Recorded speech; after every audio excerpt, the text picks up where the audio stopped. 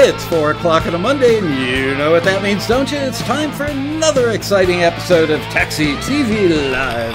Yeah, baby.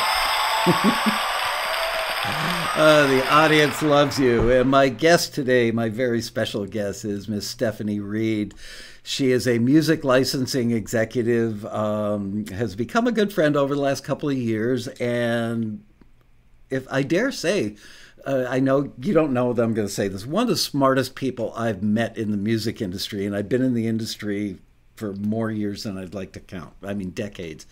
Very, very bright lady. And she and I, and her boss, actually, we're, we're in a conversation one day talking about. Um, AI. Everybody's like freaking out about AI, and there's good reason to be apprehensive. Uh, at least I thought so until I talked to Steph. Um, and we also got into blockchain for music publishing and music licensing. And I just, I, I got off of that thing and went, wow. It, it's extremely rare that I have a hard time like keeping up with a conversation, but she was so knowledgeable and so articulate about this. I said to myself, self, you got to have her on Taxi TV. So here we are. So welcome, Steph. I'm really uh, I'm so glad you could join me and join us. Um, and by the way, for everybody watching, um, I am not in the office today. We're doing we're pre-recording this as if it's a live episode. I keep looking over there at the cameras there, uh, like I've never done this before.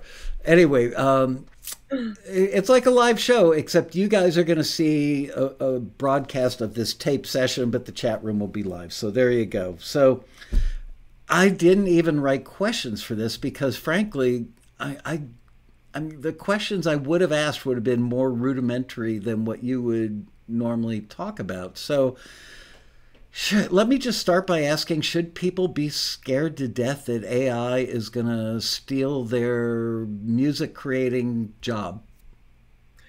No, absolutely not. okay. Well, it's been great having you. Thank you. Thank you happy to be part of.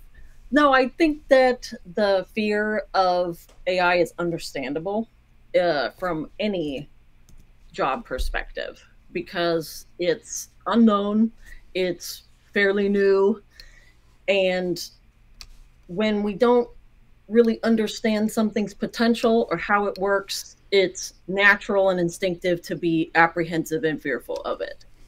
That being said, what AI is capable of doing is not completely replacing you because AI has not become, at this stage of the game, a sentient, autonomous being. It's a tool that anyone can use to their advantage to help them be their best self. From a music perspective, AI is capable of helping you it's not capable of replacing you.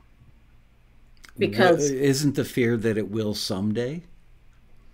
Yes but I, that day is so far away that you have an ai in a form that can actually trick someone into thinking that it's a real human being with your experiences your insights your creative capacity.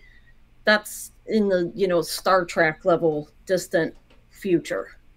It's not anywhere near that. I hmm. mean, one of my go-to examples to use is if you've ever used um, something like ChatGPT or any of the new and upcoming uh, text-based and language-based AI models, and asked it to write lyrics you'll probably be a lot more confident that you're not in danger of being replaced simply because part of music is the i would say the core component of music is that it's a language that we use to communicate with each other. And when you don't have human experience the best you can do is aggregate and imitate and come up with something i'm speaking that in ai the best that it can do is try to sort of make something that's like this other stuff okay but it can't actually tell that story that you can tell because it hasn't lived the human experience. It's not good at writing lyrics. It's not even that great. It's not great at imitating lyrics that have already been written. I mean, it says some really goofy and out there stuff because it's not a human being with a human connection to other humans and other animals and the world around it. And so it doesn't see through your eyes, it doesn't live your life, it doesn't feel your feelings. And that's so much of what goes into music that the fear that um, a computer program can do that better than you, I think, is misplaced when you really think about it. I would agree.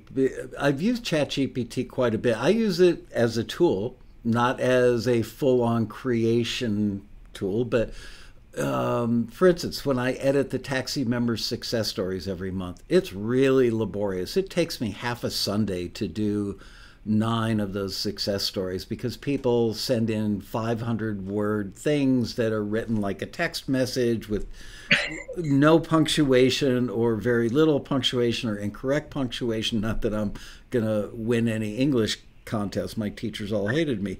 But I, I know where a comma goes and I know where a colon goes. So people write stuff. People tend to write stuff like with lots of ellipses, you know. Uh, and then I started creating music. Dot dot dot dot. And then I thought about doing instrumental music only. Dot dot dot. And we'll literally do 500 words that. So I use ChatGPT by taking their raw thing, dumping it into ChatGPT, and saying, um, edit for cohesiveness, punctuation, spelling, and make it conversational. And what I get back is about 85% right. So then it's editable. And, and mm-hmm. I can go back and make sure it's actually telling the truth because ChatGPT does lie like a rug. I mean, I, have caught it so many lies, more lies than my first wife, actually. Um, but um, uh, gosh, I hope Karen's not watching. Um, yeah, anyway, no, we get along just fine now. Um, it does lie. ChatGPT will make stuff up. I once asked it to show me favorable reviews of taxi.com. And it gave me reviews from people I know that absolutely don't like taxi and have never said anything nice about us ever. And it so it, what it's doing is reaching out to the internet, grabbing a name, going, "Okay, I'll take Bob Smith and make him say that." And it was all lies, lies, I tell you. I agree with everything you said, but that was all lyric based stuff, the human experience. What about instrumental music? Um, I've heard a couple of instrumental things where I went, wow, that's pretty close. Not great, but closer than I might have expected. Um, and certainly, if I were a composer, I would use it kind of like a tool, like I'm using ChatGPT for editing that stuff. If I were an instrumental composer, I might say, um, suggest another pad that works with what I've already laid down to see what it would come up with. I don't know that I would say, can you create two minutes and 15 seconds of an instrumental cue, German polka, and see what comes out, you know? So yeah, uh, can you differentiate between lyrics and instrumental? Yes, and so the it, I think the lyrics are the easiest one to to set apart because lyrics are language based. It's a very human communication mechanism. Not that sound isn't in general, but I think there's a, a component of that in the instrumentation as well. And what we're perhaps glossing over too soon is that this is still all based on human input. You still right. have to tell the machine and then help the machine learn what to do. And you have to be good at writing prompts. You you, you can't succeed on your first try. You should actually like take a semester of prompt writing. Exactly. And it, it, it even highlights the multitudinous ways that language can be interpreted. So you're using verbal language, text based language to tell a program what to output to you sonically. And then you have to feed back into it. Well, that's still a lot of human interaction. This is AI functioning mostly as um, almost like an instrument would. You're learning how to play AI to an extent. And like an instrument, garbage in, garbage out. Garbage in, garbage out. So, can you set a very simple prompt and have AI create something, generate something? Well, yeah, but it can't do everything. It's not a complete uh, uh, a, a, AI. It's not going to play the cello. It's not going to base its music on its instrumental music on how you felt that day you went this place and saw this person without you. You are still a key to that AI's creation, whether it's instrumental or lyrical or both. That's a great so, point, uh, uh, and particularly applicable to our end of the industry, licensing music for emotion, uh, largely based on emotion, because you want to amplify or underscore an emotion in a scene. So you're right. It, it may play a pad. Can it play a pad with that extra special little bit of sorrow in there? Maybe not. Probably not. Probably not without a lot of feedback from you or yeah. someone to go, mm, no. Ah, yes. But again, it's it's basing all of this on your input. It's learning from you. It's becoming an extension of you, just like a keyboard or a guitar or flute or whatever the case may be. So to be afraid that a computer program can completely replace you, I think is rooted in a lack of understanding of its current capability and perhaps an undervaluing of yourself. Gee, no humans I know have ever done that. Right? Um, Musicians, insecure artists. Well, they now have a service where you can get an AI shrink uh, online to do a little analysis. Actually, I think Cedars-Sinai is offering AI psychiatry or something. Sigmund Freud is definitely rolling over in his grave right now. but he was a he was a loose kid. He was a, a crazy genius, a loose cannon. Aren't they all? Aren't they all? So, okay, um, let's keep going down that road. In maybe it'd be valuable as a tool for uh, we're doing a harmony stack. And i've already done the harmony stack uh, but i'd like to hear it with a ninth in there somewhere. So you could hypothetically just say take this harmony stack and uh, give me a ninth in the stack. That would be exactly a cool way to use it i guess and i i think that it using it as sort of your creative assistant, like you're describing, uh, try this a little different. Try this here. Try that there. Okay, mute this line. I think using it as uh, something that makes your repetitive tasks and your difficult tasks, like editing a big, huge block of text, mm-hmm. where it's going to see the most use and really serve its best purpose, at least in the near future, you know, the next 50 years, by the time AI can completely imitate you, we'll be long dead. I'd like to see it advance faster, like all technology, but it, it doesn't. So using it to help you is definitely the way to go rather than being too afraid of it to want to touch it at all. Um, I'm trying to think of.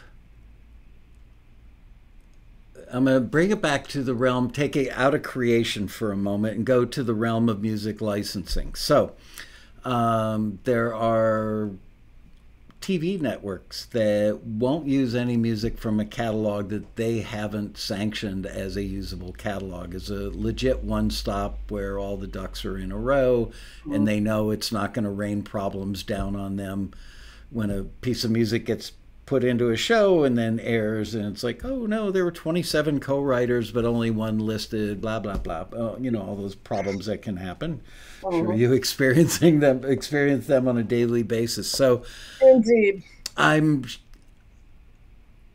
you can't copyright. I think everybody knows this, but I'm going to say it out loud anyway. You can't copyright something not created by a human, at least under American copyright law. I'm not sure how that plays in other countries. So, if that's the case, then the concern that people have that AI is going to take over their jobs creating music for film and television I think that's another reason they don't have to worry as deeply or as quickly as they are because there are these copyright issues that, okay, let's say it made perfect music right now today. The networks aren't going to use it because they don't have their legal ducks in a row um, to use music that is not copyrighted. And then there are the PROs that you know that's a whole other thing that we'll probably get into deeper on, on the blockchain discussion but mm. um, yeah where where did the pro so let's go back to copyright rather than scattering all over the place right now. Copyright what's your feeling? Because you deal with tv networks all the time. You know these people well. You know their rules and regulations well how will they if ever adapt to the fact that something created by AI can't be copyrighted. That under their current way of working, they could never use that music. Am I correct in making that statement? Uh, in many cases, uh, yes, because it's uh, because it's in this sort of nebulous gray area where the most recent uh, court cases and rulings about it are no, this was generated by AI. That doesn't count.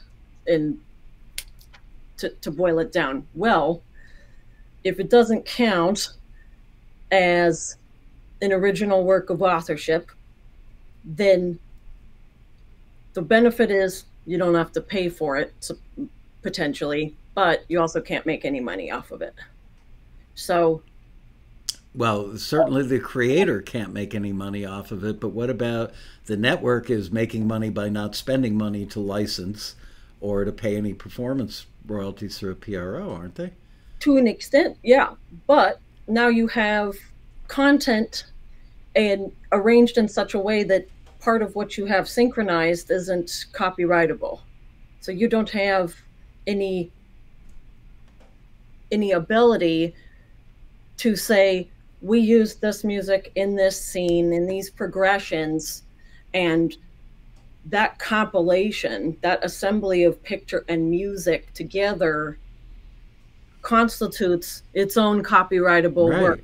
Except now anybody can oh, use wow. music because it's royalty it's royalty free, it's AI generated, it's not protected by copyright. Now you don't have something that's hmm. Potentially original and unique. You have something that anybody can emulate very closely. I mean, they could use the exact music and the exact sequences and the exact, they would have to alter pictures. But do you see this also what I mean by it's, it's sort of a double edged sword? Yeah. In that regard. So, yeah, you save a buck up front, but you also don't have um, as valuable of a product afterwards. And what about direct licensing? Um, do you want to give a definition of what direct licensing is uh, as opposed to going through a PRO for people who may not be familiar with how that works? So, in the direct licensing scenario, you are, as a rights holder, allowing someone to use your copyrighted material, your intellectual property, will music,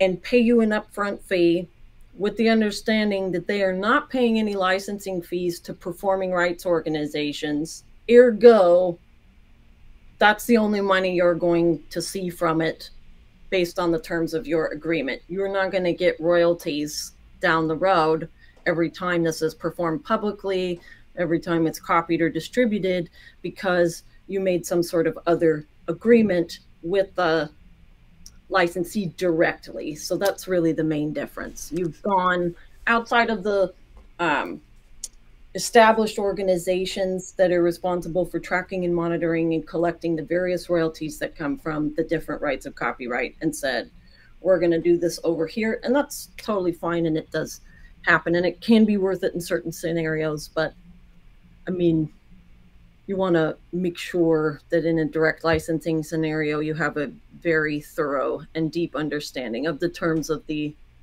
agreement, or you can potentially cut yourself off from the long term revenue streams that you're. Well, and also it opens the door wide. I got a call, I think I uh, told your your cohort this uh, in a private conversation, but I'm not going to mention any network names. I got a call 20 some, maybe 25 years ago from one of the three or four major networks saying, We've been watching your company for a while. You guys are perfectly positioned to create a giant catalog of music for us that we would then direct license.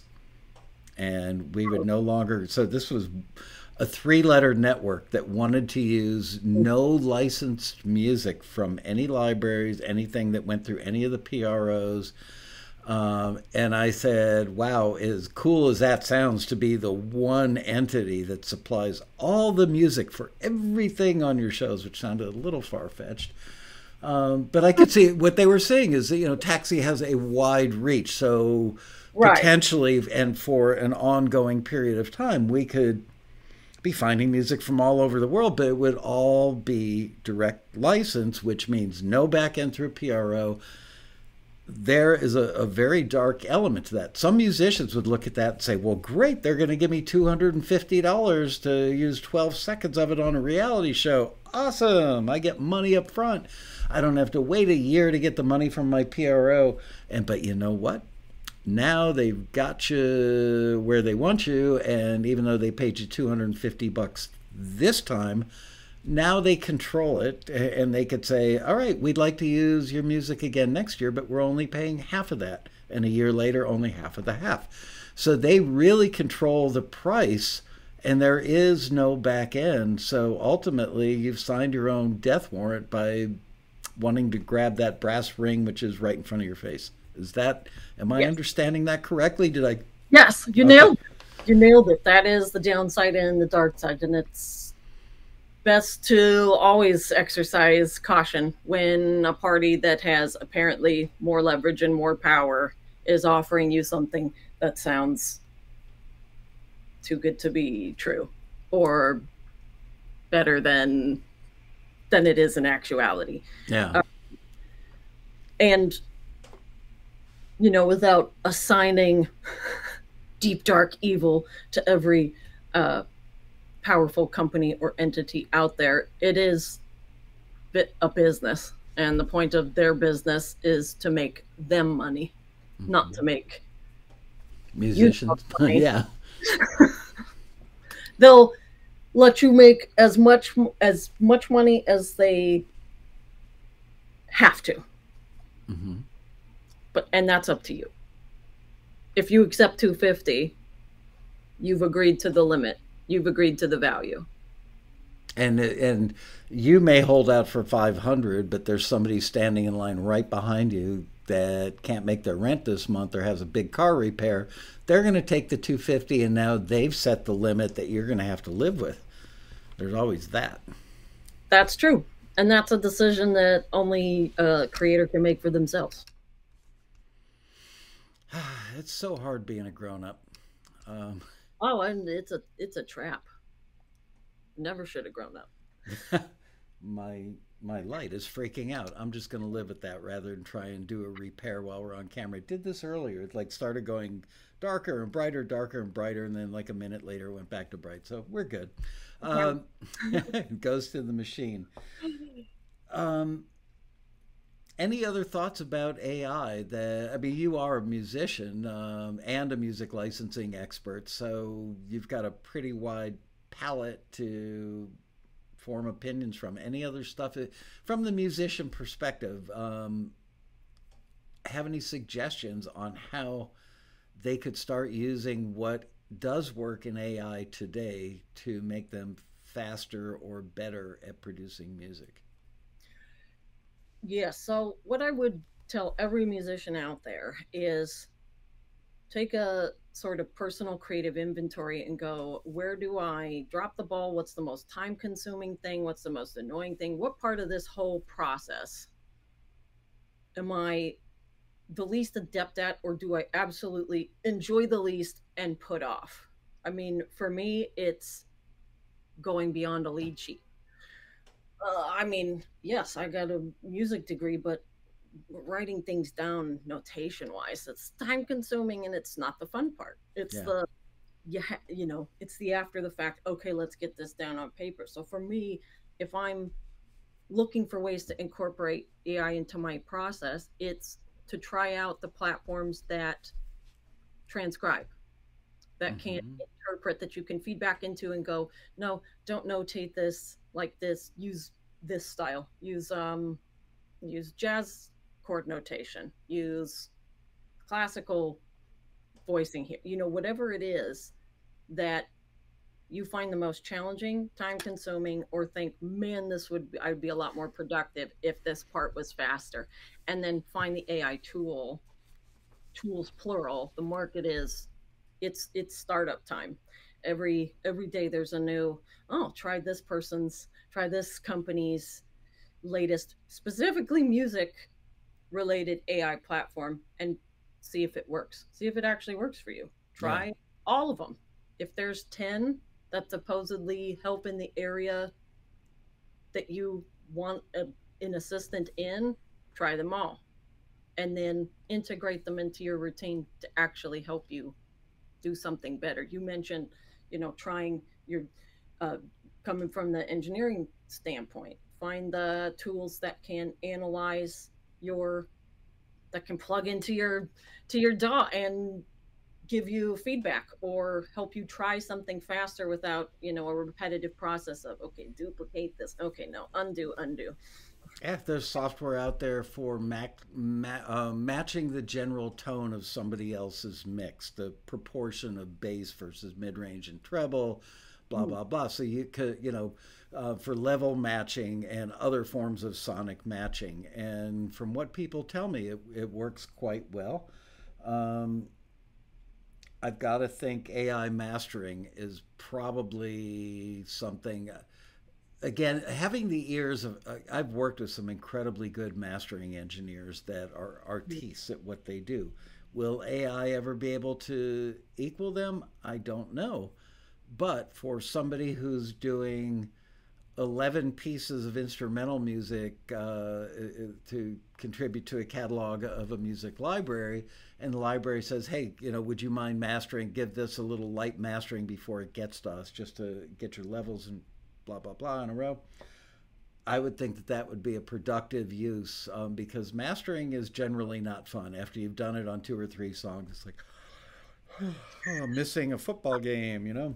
Um, and then that I mean that's something I've never actually done myself. That's always passed to someone else, right?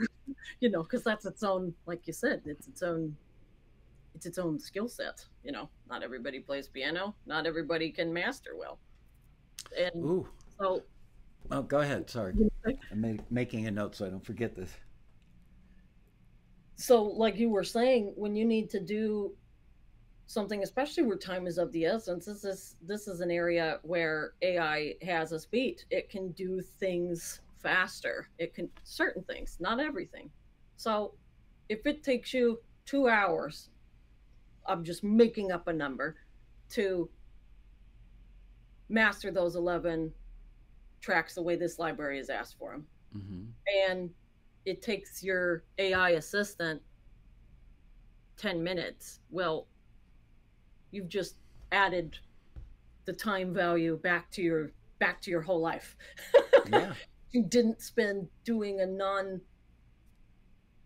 creative component that should, that was just a repetitive sort of make all this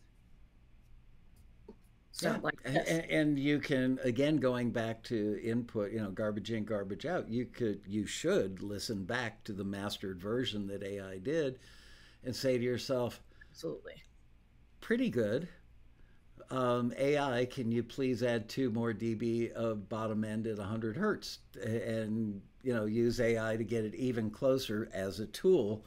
So all right, and now let's talk about another task that I don't think anybody enjoys, especially my friends who work at music licensing companies, which is metadata.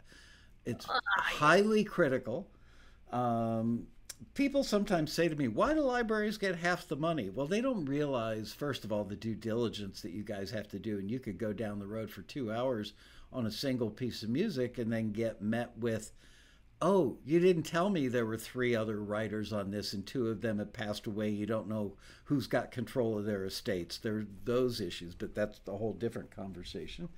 Um, but metadata, uh, you know, they, they obviously want to know the song title, the the splits, the contact information for the creators, um, maybe even an acknowledgement of work for hires have been, you know, or in hand and, and all tidied up.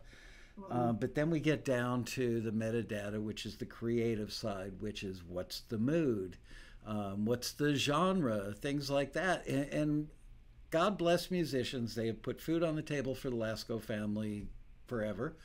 Um, and so I'm not saying this is a put down. I'm saying it is just a basic fact from my observational experiences of 49 years of being in the music industry that most people cannot be objective.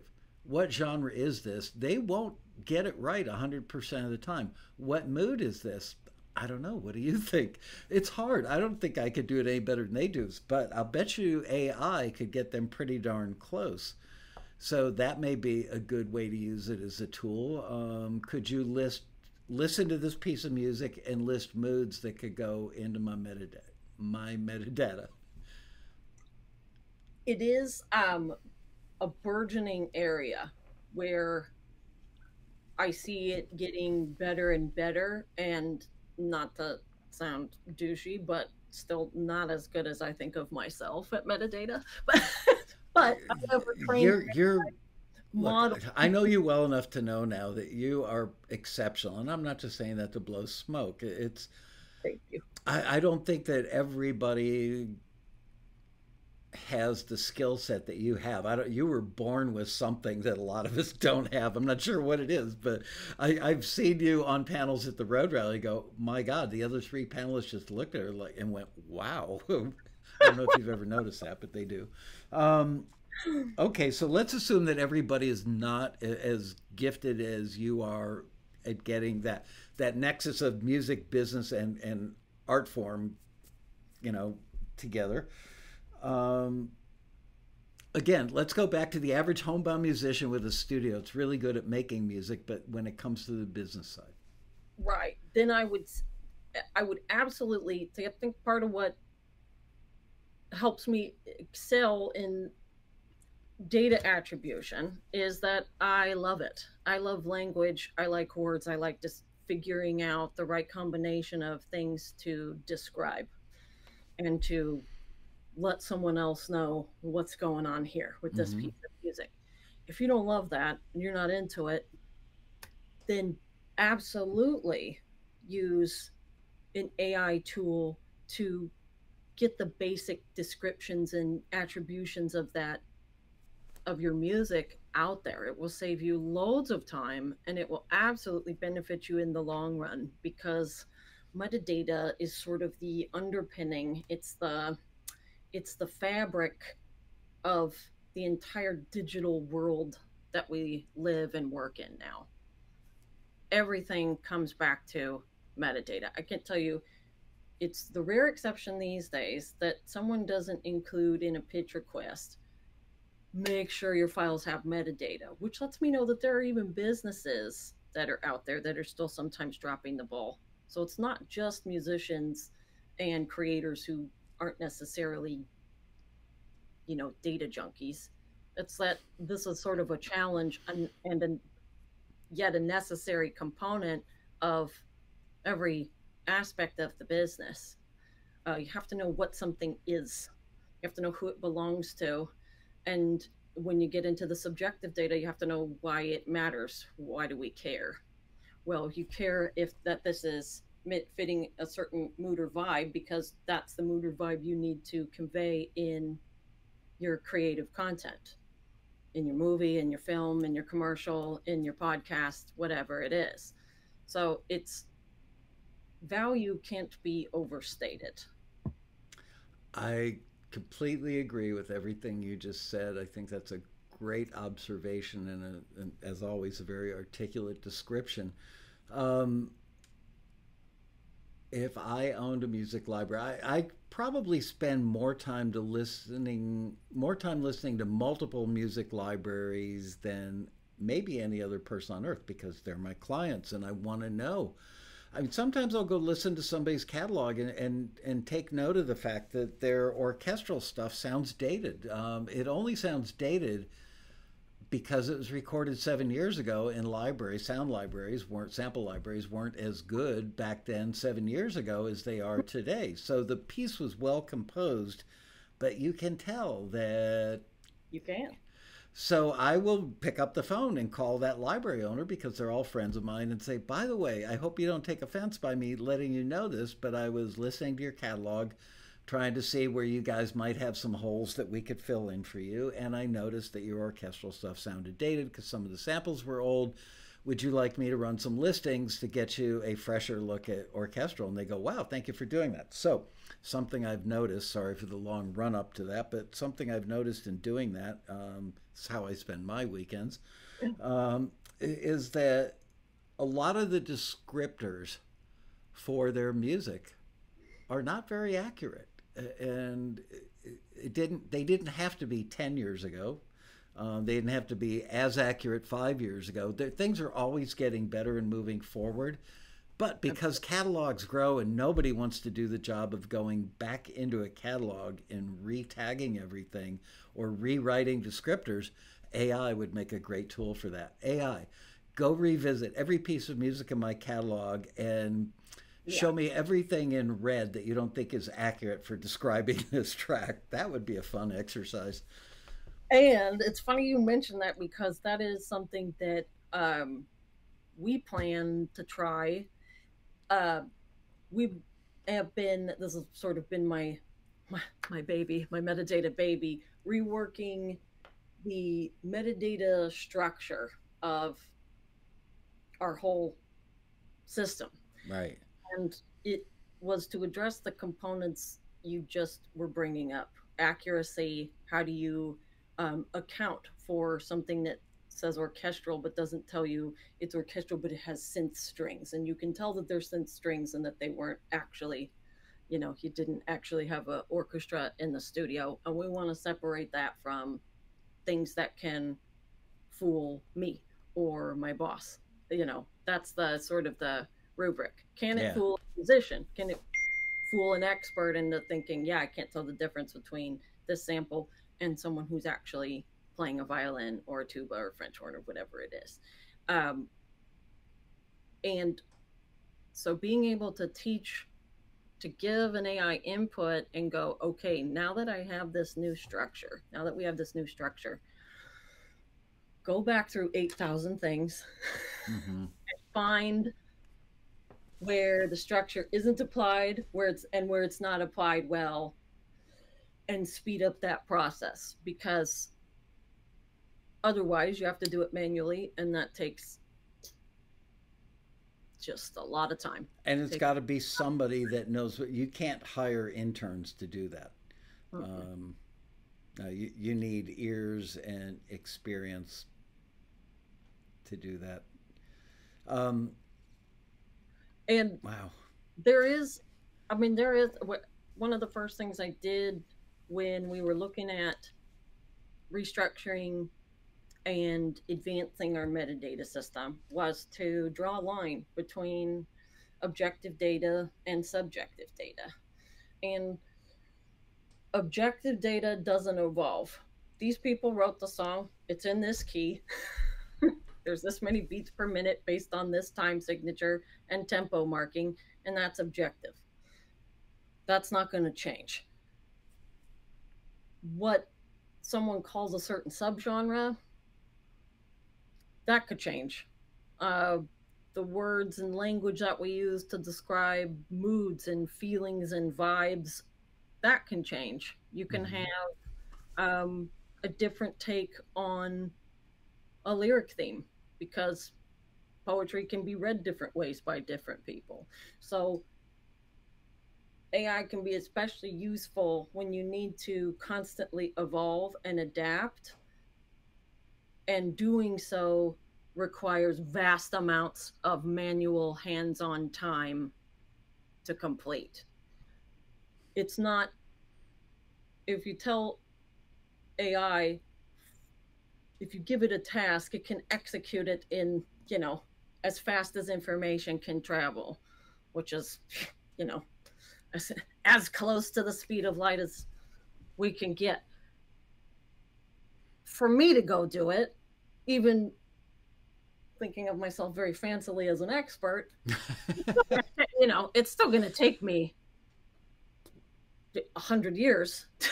right, and you'll never see another episode of Succession or whatever is your favorite TV show at the time. I'll just, be, I'll just be in a dark office plugging away, trying to find all of these terms I need to replace or instances of where I need to add something new. So it, it, would be virtually impossible to train a team of people to do that. I mean, there's some things, you know, I mean, eventually you could. Five years of doing nothing but training, you could make them all that level of expert. But who's got five years? Who's got five years? And the, yeah, the time and the capital to invest in that. By the, by the time you get them trained to where you wanted them to be when you started, well, now we're five right. years down the road, and we've got a whole new set right. of things we need to address and adapt to. Oh, we don't use that genre term anymore. We use this one because nobody, you know, says that. That's not the, the preferred nomenclature. So you got to use AI. You have to look at technology instead of as a threat, as a tool. As a, it, that's why we invented it in the first place technology was animals figuring out, oh, there's an easier way to do this, and I can save myself some time to do the other stuff I want to do if I use this tool. I saw Thing of TV last night. Uh, it was actually on Twitter, posted by Elon Musk, who is both a proponent and scared to death of AI. You know, I, I like Elon. A lot of people don't. I personally think he ranges between absolutely brilliant and hysterically funny. Sometimes, yes, he, he may offend people, but so he said, you know, some years ago, I had the he had the idea to start a school because he thinks the education system in America is failing miserably. Um, so he wants to start the Texas Institute of Technology and Science. Think about what the shirt would say. Technology Institute. and I couldn't tell if he was kidding or if he understood that the, that the acronym was hysterically funny. The acronym was that's it because he uh, he cracks me up. I mean, he's a he's wacko. of a love hate relationship with Eli because sometimes he says stuff and I'm like, okay, you're done. Sit down. Go home, Elon. You're drunk. he, he, or stoned. He but, is always entertaining, but he is brilliant. Entertaining, and he is brilliant. And he's, uh, you know, he's not risk averse, which I, which I like. It's yeah. people that see risk and go, yeah, so what? We're gonna do it anyway, and that that are capable of making huge paradigm shifting changes. Right. And, and, you can't make a change like that without risking everything sometimes. It's like you got to be willing to cross the Rubicon, Rubicon to know what's on the other side. And he'll do it, but he can afford to do it. But he made all that money. Good for him. And he did it by, you know, taking big risks. Yeah, absolutely. God bless him. But yeah, I, I, if that school is a real thing, I'm going to be the first guy to order the shirt. And I uh, can't. Uh, wait to wear it out in public and see how far out the door my wife lets me go before she yanks the leash and pulls me back in. Change your clothes, damn it. Um, all right. Well, um, anything else you'd like to add to the AI discussion before we move on to blockchain? Which AI, I've got a, a decent grip on. Blockchain, I mean, I, I, could tell you what it is, but I don't understand it like you do. So, any any other AI thoughts before we wrap that segment of today's show up? I think we hit the biggest, most salient components. So I think we're we're good to move on to the block. Okay. All right. Blockchain. Um, I'm going to let Steph explain it because she will do it in a more cogent manner than I probably would. You know, three years ago, five years ago, everybody was saying, oh, crypto, it's blockchain, it's totally safe, can't be hacked. People have hacked it. So I do want to remember, I'm just writing the word hack down so we can talk about that later. Um, but yeah, go ahead and explain blockchain, and then let's talk about how you envision blockchain benefiting the music industry and how that should probably scare the crap out of the PROs. uh, well, and if they're smart, they'll adopt it rather than repel from it because that's what creates the ability for someone to take you over. Absolutely.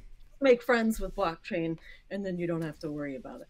So, blockchain I think is most typically associated with cryptocurrency, and that's one of an infinite number of possible ways that blockchain computing can be used. And essentially, what it is, and I will say that I am not a computer scientist, I just find technology interesting.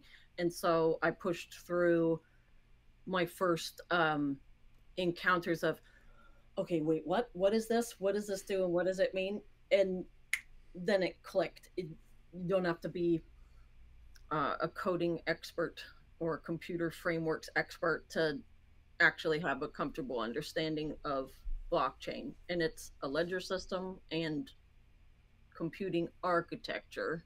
That... Explain what a ledger system is because not everybody took accounting in high school. so you can think of a ledger. I'm looking around for a notebook to grab as um, I'll just we'll just use this handy dandy legal pad. So a ledger is simply something where you where you record that something happened, that a transaction took place. Okay, so like your bank statement is a form bank of a ledger. Exactly. Okay. It's it's a record. It's just essentially just a record of what's happening between whom and any other import any other metadata, any other important information about that occurrence and the people who were involved in it. And so the benefit of blockchain is that it's it's based on a decentralized computing network. And what that means is that the information about the blockchain and what's going on on it isn't controlled by a single entity in fact, to record anything on this blockchain, to operate on it, with it, through it, all the computers, all of the systems, all the nodes on this network have to agree. Consensus algorithms are what um, secures blockchain. And when you hear of it being um, unhackable, it is as close to unhackable as is possible. And that's because rather than imagine if you're robbing a bank. If all of the money is in this one vault and there's one code to this vault, once you get through that one code, you can get all that money. But if you wanted to rob that bank and in order to get the money out of the vault, you had to be in the place of a thousand other banks across the world. Well now you now you can't get in. You're one person. So it's not like having a million dollar gold bar sitting in the vault of one wells fargo. It's like having one ten thousandth slice of that gold bar in 10,000 wells fargos. And you would have to know the key code to every one of those vault doors at all 10,000 of them Exactly. Okay. And Wells Fargo wouldn't have your key code. If you're the owner and I'm trying to steal your money, I'm trying to get your 10,000 gold bars. I don't, I would need yours, your code, and only you have that code. See, that would be risky with me because just last night around midnight, I realized I lost my checkbook. I've never lost my checkbook in all these years.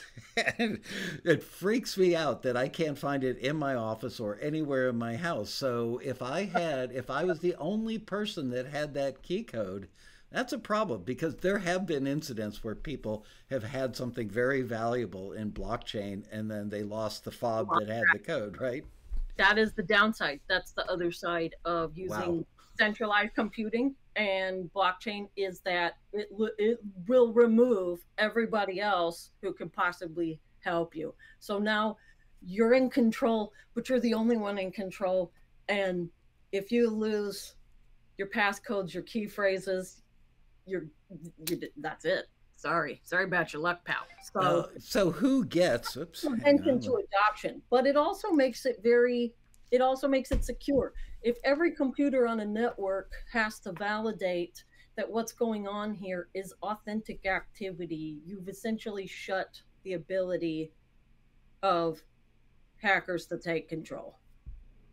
So how who are these let's stick with the number of 10,000 just cuz it makes it easier to imagine but let's say that there are 10,000 computers that are 10,000 nodes and each one of them has one ten thousandth of the ledger um, are we talking my laptop and your laptop are on are, are nodules on this system and yeah. so if that's true and it's not you know like 10,000 giant computers sitting in a Costco sized server farm um, right. What happens if of those 10,000 people 2,000 of us go on vacation decide to turn off our laptops leave them at home put them under the bed while we're gone and now you've only got 8,000. Uh, does the algorithm reach out and find 2,000 other computers mm-hmm. to put the information on so that there's always 10,000? It does have that capability. And that, that comes down to the type of blockchain, um, which particular blockchain something's built on. But okay. um, part of the reason that uh, for example, a cryptocurrency transaction can take a while to process is because of how long it takes to find enough computers on a network, to find enough nodes to participate in running the consensus algorithms and validating the transactions. So it's not as fast as it could be. But there's also the ability for things to run in the background. So it's not just your laptop that would need to be on or specifically connected to a network. I mean, your phone, your watch. There's all kinds of devices that have computing power that can participate in the execution of a. So my gold bars could be stored in my smart fridge. Literally or cryptographically. yeah. right, exactly. And then I'd have to call them cold bars. Woo.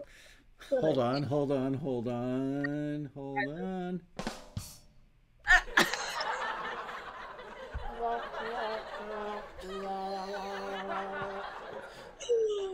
oh, I love it. Hey, I only do high class TV production around here. oh, nothing but the finest. That's right. Wow, this is okay. So, you know, I did have a, I don't know, kind of a decent understanding of blockchain, but you explain it so well that uh, you have enhanced my understanding. Thank you. So now let's talk about why, how blockchain would benefit performance royalties in the music industry um, rather than doing it in traditional manner like the PROs are doing it now, which is so mysterious that even the heads of those companies don't really understand how it works, I think. yeah, there's uh, some uh, creative math that uh, is never fully publicized in how the royalties are decided and allocated, and they sort of give you with you know ASCAP and BMI a general idea of how they yeah. compute things, but you don't have you don't have full transparency. You know, they'll give you large overviews of what's going on, but not necessarily the granular details of we took in this amount of money, we calculated these royalties this way at this percent. You know what I'm saying? So there's still some mystery there. With um, with a blockchain based system, the the core con another core concept of it is that it's transparent it's that nothing's hidden there's nothing on this blockchain that everyone can't look at and see and record and make note of and use the information for. Say that one more time. That well, was a pretty complex idea.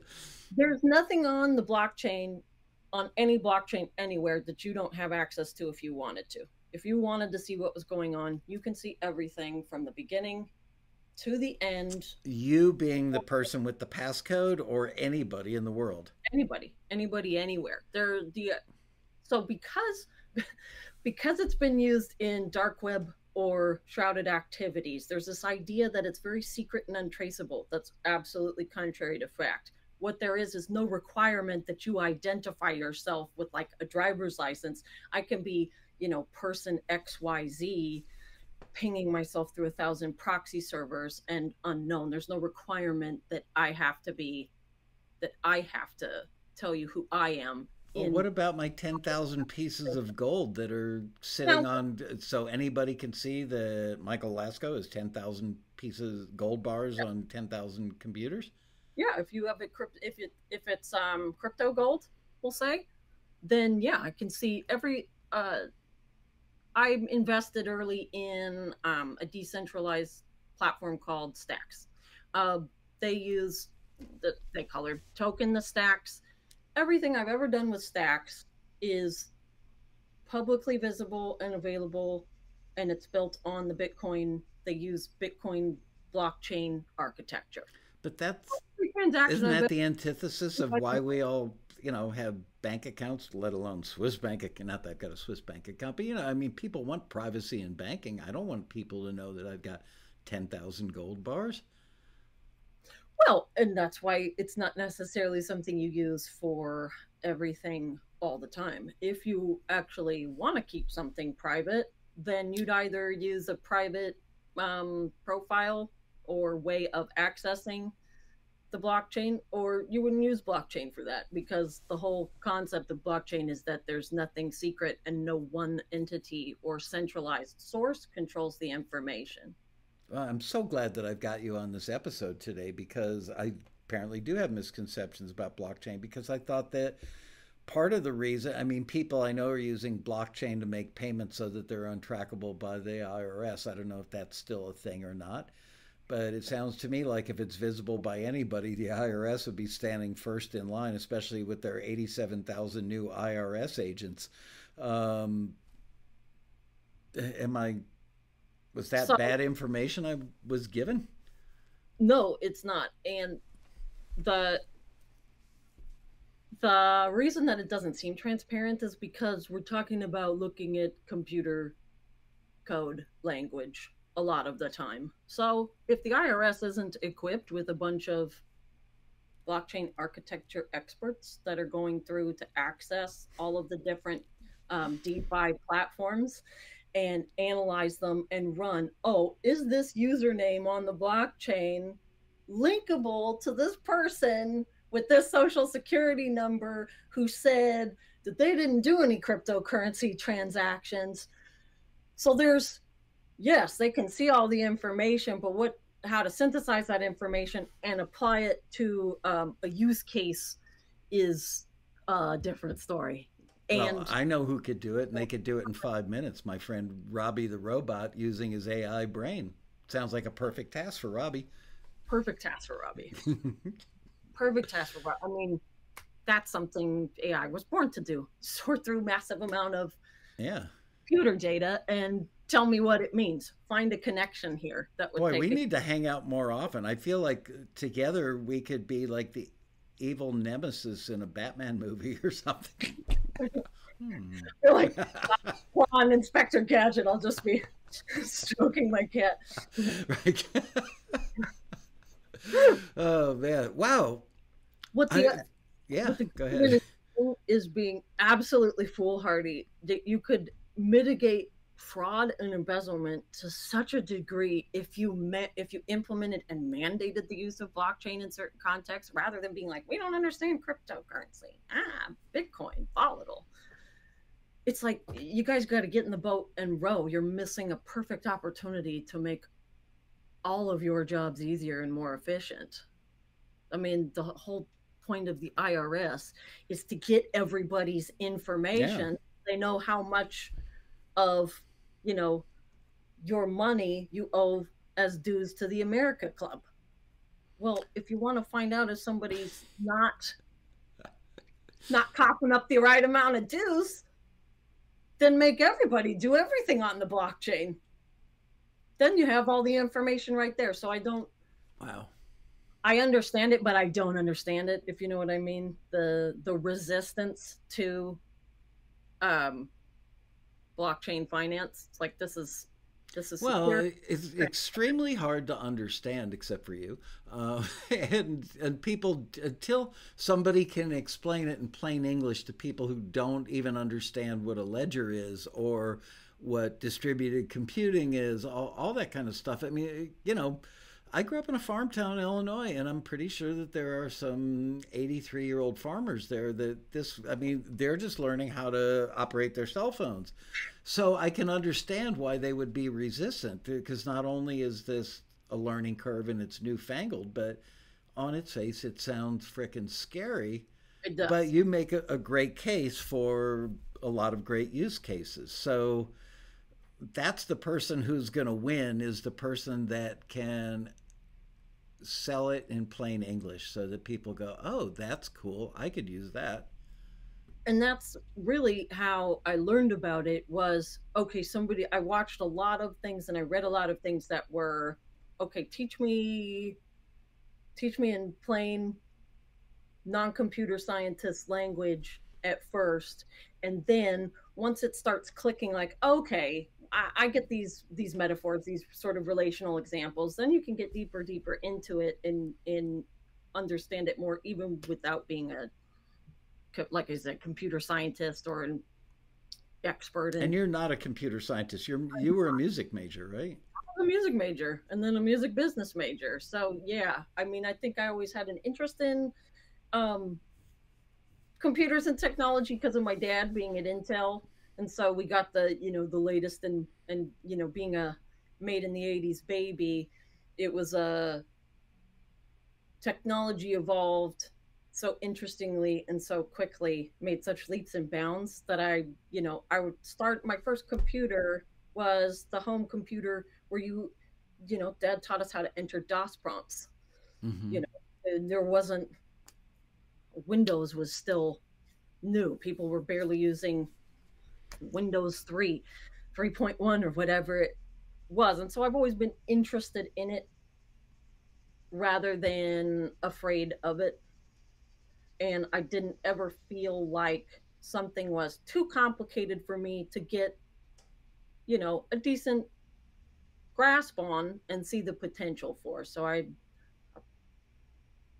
appreciate that about my uh my family and the time in which I've which I grew up. You know, you start with the with the phone. I mean, my grandparents had a rotary phone. I learned how to make calls on a rotary phone, and now you know I walk around with a hand computer that's yeah. more powerful than the computer that I used in college. You know, it's much uh, more. Yeah, uh, I, I, just so you know, yeah, I, I, I when I was a kid, the Princess phone had an, uh, which is a, push button. Yeah, I grew up in rotary phones, and uh, I would still go to friends' houses as a kid and find phones on the wall with the little thing you take off and talk into the little. yeah, I, I've actually seen those in use in real life, but again, I grew up in a farm town. So if I walked home from school with the son of a farmer, you know, come you want to come home and ride horses with me after school, walk into a farmhouse, they still had the phone that Timmy and Lassie used when the show, you know,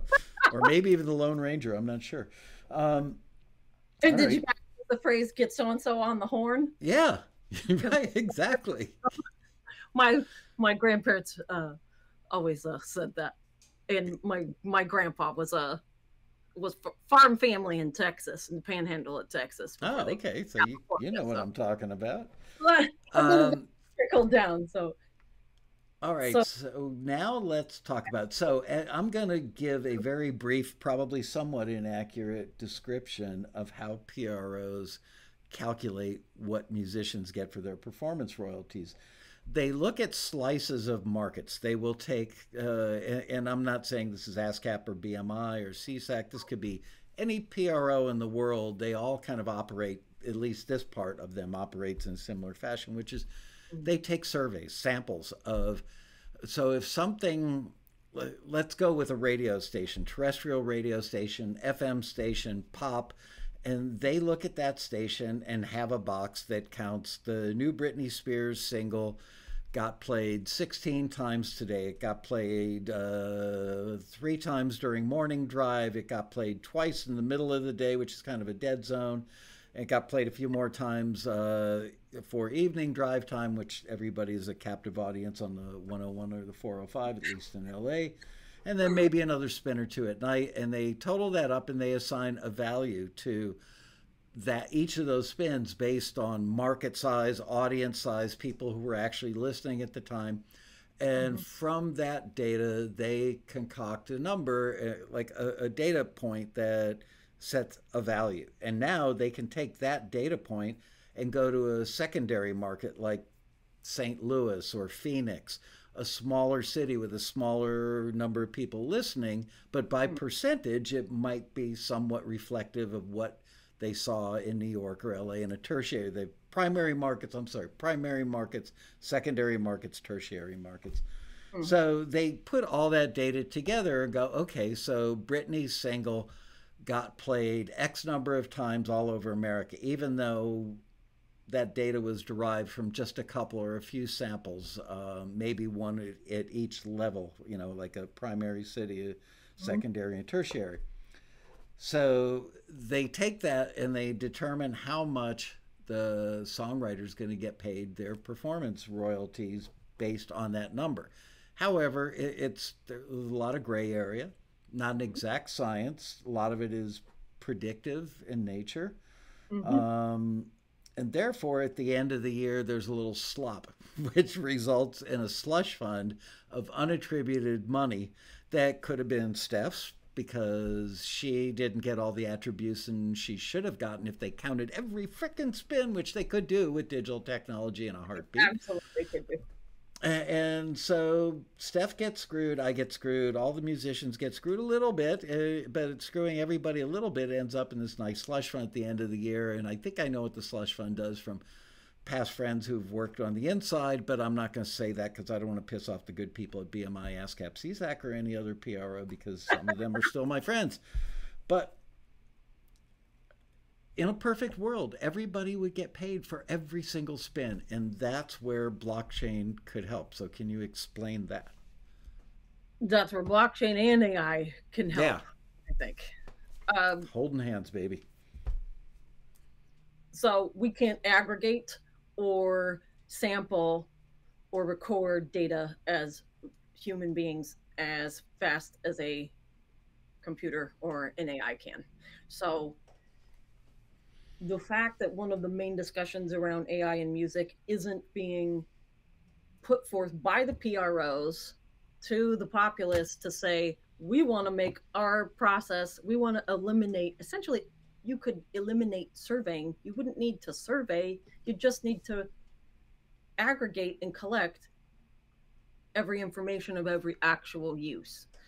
The time period where it's necessary to do surveys because there isn't enough manpower or processing power to actually know exactly how many and when that's done. That's been done. So the fact that we're still as and I love I love the the PROs for being there being themselves and in many ways making it possible for musicians to earn to earn money. I mean, imagine any one of us having to go out and individually oh, try. Oh yeah, uh, couldn't do it. And they bring other, you know, yeah. This is not a put down of PROs. Neither of us are trashing them. We're just wishing that they could use this new technology sooner than later. Yes, because it benefits everyone. It yeah. benefits everyone. It benefits them and the creators and rights holders. Because if you're actually accounting Oops, I just lost you for a minute. Uh, lost your audio. I think your hand might have hit your computer, and it's. No, I mean you're you're talk to me now. I think you're there. Check check. I apologize. Yeah, I think when you touch your computer, that you hit the the auto level control. You know, it, it saw spike in level and it dimmed you for a minute. Anyway, you're back. Apologies, I got, I got too Italian. um, so PROs absolutely need to get in the boat and row, which is my favorite phrase of late, because surveys are inadequate and they don't have to be the way that we account anymore. And by utilizing blockchain as well, you could show everyone if if you think of blockchain as boiling back down to this is a recordation system. This is a ledger that shows you everything that's going on, when and who's involved and whatever information you need to know. Now you have a transparent platform, so you don't have any sort of um, conflicts of interest or mistrust. Everybody can see this information. And especially if you're using AI to record things onto the blockchain, now there's no room for anything nefarious to go on. It's or interns leaving something off the cue sheet or human error. Yeah. yeah, or human error. I mean, it's you move a period, you leave off one letter, and now somebody's missing a couple thousand dollars. I mean, it can be an error that small that causes a royalty to be missed, to be not collected. I mean, uh, we regularly submit queries to the PROs and go, oh, I don't think this uh, use got accounted for. I think this was left out of a survey. And a lot of the time, uh, it's a writer or an artist who's aware of a placement that they've gotten and they've gone, you know, I didn't really see that in my latest statement. So the the the artist or the writer or composer is using TuneFind, getting an alert that there was a use, but the PRO is not picking it up in the sample. Right, okay. and there are, and yeah, exactly, and there are um,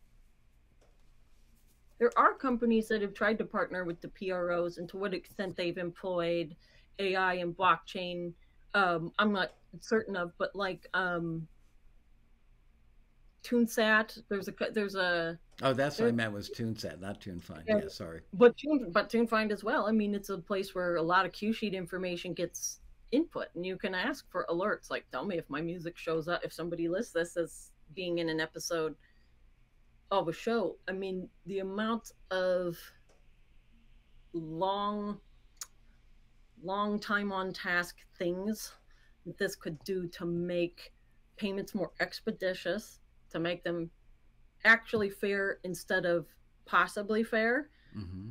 is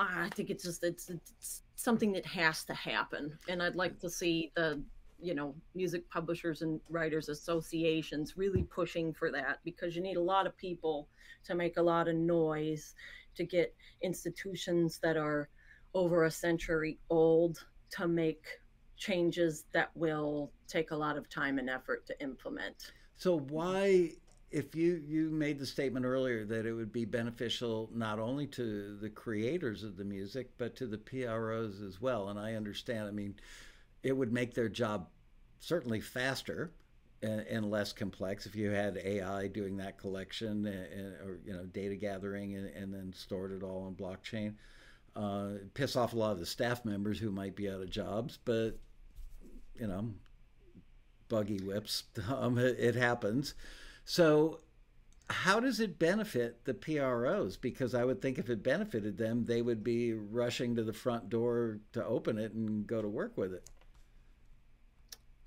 Not necessarily. I mean, if there's not enough people within the company or within the organization that can go, look, here's the benefit.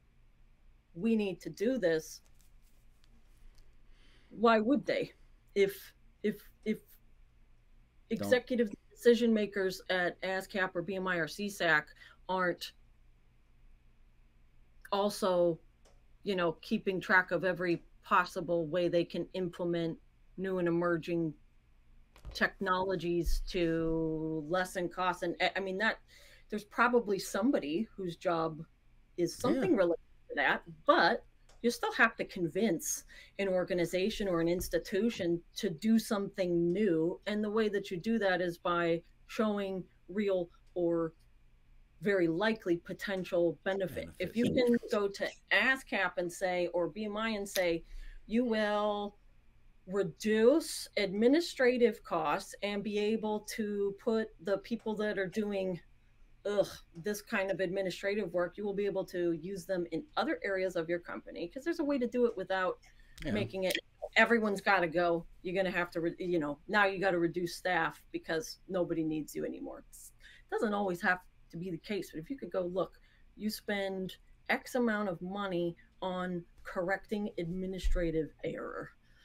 Even uh, let's say that part of that is from people just needing to revise something they submitted. If you have technology that's mitigating the amount of human time that has to be spent on that, you can put humans on other tasks that are creative, that are suited to humans, rather than putting a lot of your capital and a lot of your time value in the organization into mundane, repetitive things that you will never be able to do as efficiently as Just a computer. Imagine a government using it for those same purposes. I do. I imagine that all the time. It seems like sort of a fantasy utopia, but it's yeah, wow. Um, a lot of, I mean, the money that they're not paying out in royalties is going to operating costs. The, implementing this technology reduces operating costs because it means you can pay skilled people to do skilled work and not the work that once you've paid a license fee or once you've actually just incorporated something in that a that a computer will now run and do and take care of for almost no cost once it's implemented.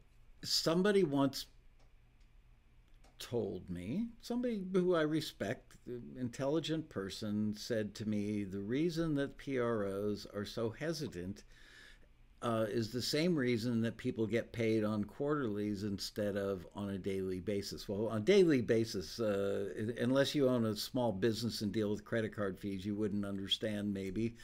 Um, but they're transaction fees.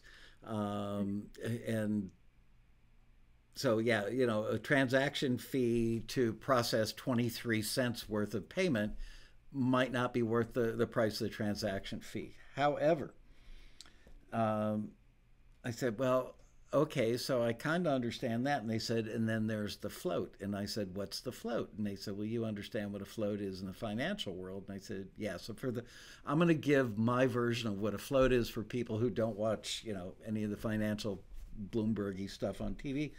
Float is what you do with money that you've collected that's going elsewhere to somebody else, but you're making money on their money by holding on to it for three months or one quarter of the year. So mm. let's say that you've got a PRO that brings in a billion dollars worth of transactions, that the, the performance royalties total a billion dollars. So mm. one quarter would be a quarter of a billion, or or no, uh, that's transactions. Um, no, that's dollars. Anyway, the point is that whatever amount of money it is sitting in the bank, their bank, for mm. three months, they might be making a quarter of a percent or a half a percent interest on that money. They might be making, I mean, interest rates are up now. Maybe they're making 5% on that money. So 5% on a quarter of a billion dollars um, is, is, is how much money? 50K? Right. I'm so half a billion dollars. Uh, Siri. Oh, there you go. Or Alexa, how much is a quarter of a percent of half a billion dollars? From Answers.com. So one quarter of a million dollars is two hundred fifty thousand dollars. She heard, misheard me. It'd be like two hundred and fifty million dollars.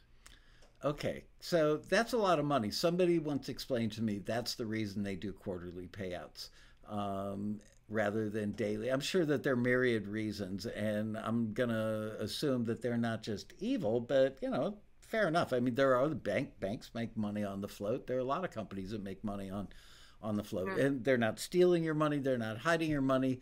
They're just collecting your money, and before that they can do the process of distributing that money in the back end, it takes them three months to do it, and they're making um, maybe as much as 5% in today's interest rates. So that would be a pretty strong motivation for not coming up with a more efficient system for distributing that money on potentially a daily or instantaneous basis. Your song gets used in a soap opera on NBC today, and five minutes after that show is over, you hear cha-ching and there $12.62 in your bank account. Musicians would love that. They would. That that would definitely make them happy and understandably so. I mean, is there anything worse than waiting for the waiting for the check that's in the mail? no. No. No one likes that. No one enjoys that. And so let's say for example that that's one of the primary reasons that Okay. more expeditious uh, payment process hasn't been implemented. There's certainly a middle ground where it's like, okay, we need to generate. We don't want to actually take any of your money of the revenues we're collecting, in order to maximize the amount of money we can pay out to you. We have to hold it and earn interest on it for this period of time. That covers these operating costs that you don't have to now facilitate from your royalty earnings. You don't have to subsidize those anymore Right. Uh, from your payout. You subsidize them by waiting for your payout. So let me make a devil's advocate argument to that. That's that's fair, and you could take it from three months to maybe one month. Maybe there's a, you know, yeah, I'm not looking at their balance sheets or statements of cash flow, so I'm using hypothetical numbers.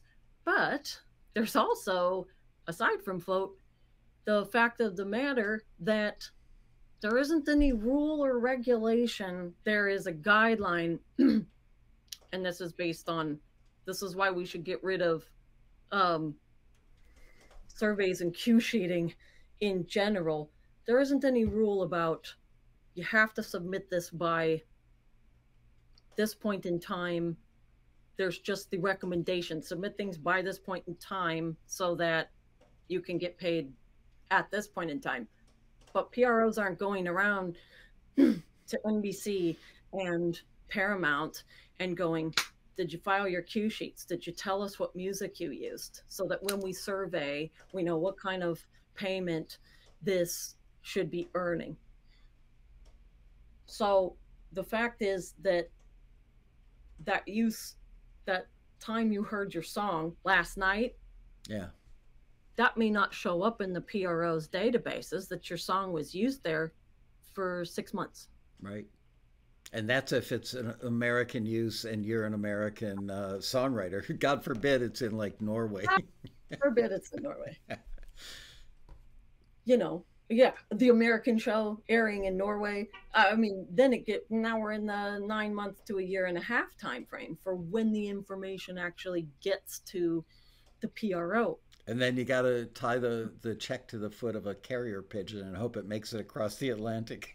Yeah, send it off. Godspeed, little bird. um, I just had a, a thought of trying to recapture it. Oh, so if the PROs used blockchain, it created all this hyper efficiency, um, and quarterlies were no longer a thing, and payments were, let's say, daily. Um, your argument that they use the float to offset their overhead, their general overhead expenses. Um, they also make what? What does a PRO get? Like ten percent for collecting your money, which would seem fair.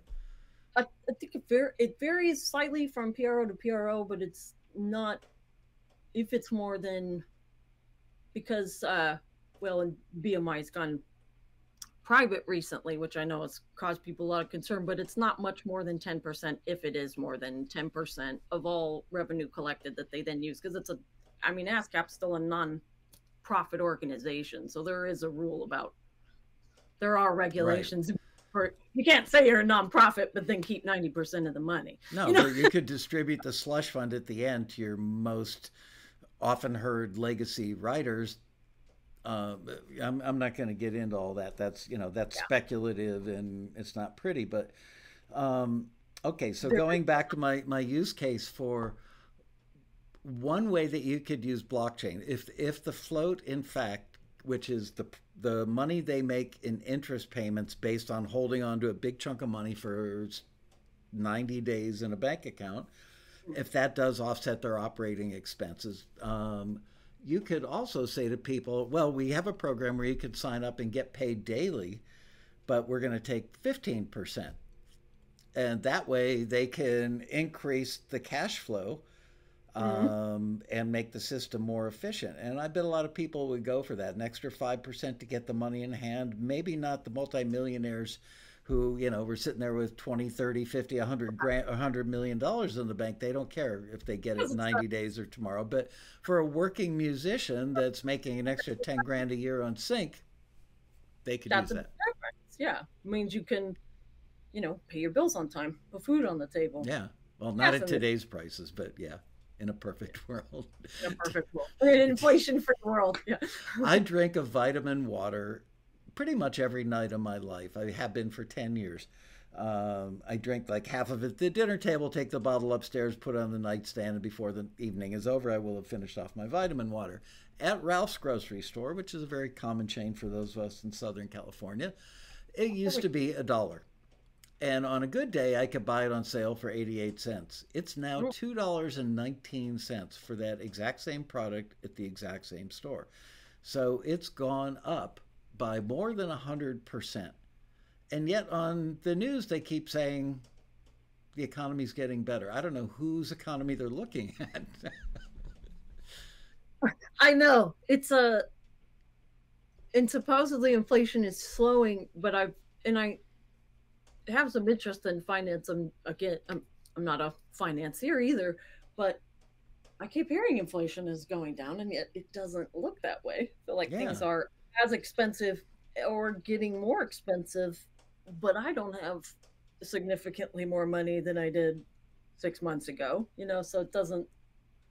I'm not sure which which part of the economy they're looking at. I mean, not the part you put in your gas tank or the part right. that you put in your mouth, but um, and then in California, this is a whole. But now we're getting into a whole other I thing. But probably qualify California's economy separate from everyone else. the fifth largest economy in the world, by the way. But I mean, they want us to all have electric cars by 2035 or something, but we don't have the electric grid to charge our cars.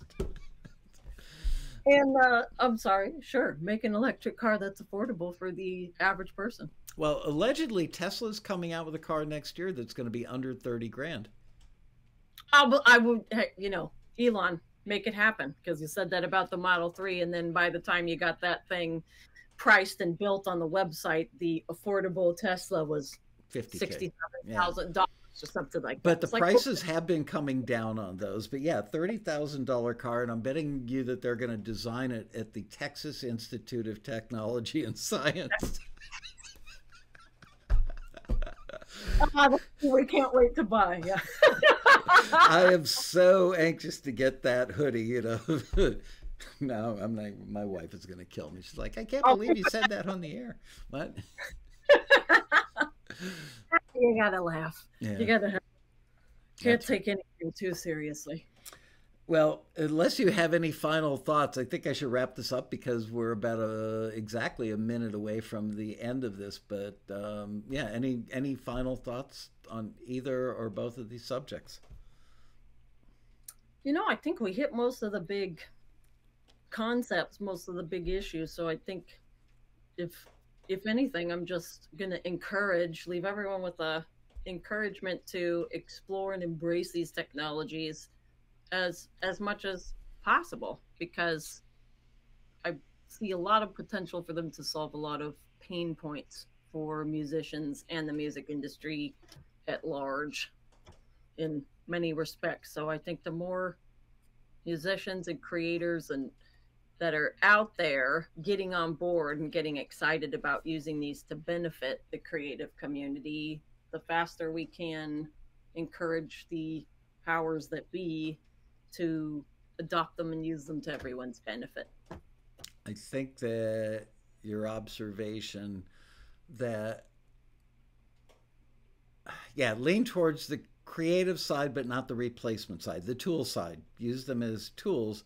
And, and I do agree with you that, um, especially for songs with lyrics, it's got, if ChatGPT, even though it's gotten better, uh, and and it's morphing at an ever faster rate or improving at an ever faster rate, it's going to be a while before it could write a piece of instrumental music that would make you cry. It may get all the notes in there, and the length will be correct, and the volume and the mastering may be wonderful, but it won't make you cry.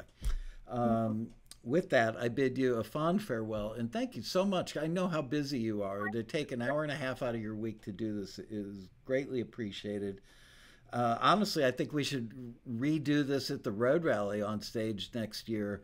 I just don't know how many people. Sometimes I do these things that I think are going to be so informative. And you would think everybody'd want to be in the room, and I look out at a ballroom with a thousand seats, and there are only 212 people in them.